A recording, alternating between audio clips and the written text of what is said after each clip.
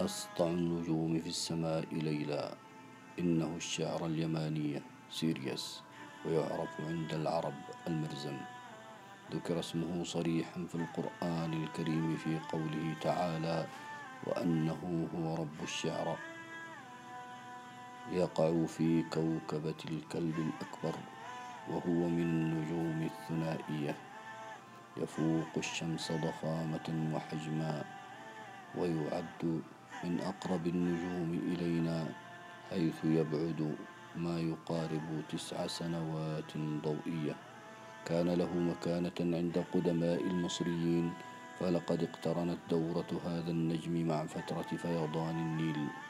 كما كان له مكانة عند العرب فقد استرشدوا به في رحلة الشتاء والصيف. ويقال إن كبشة الخزاعي وأول من وضع له نصبا داخل الكعبة.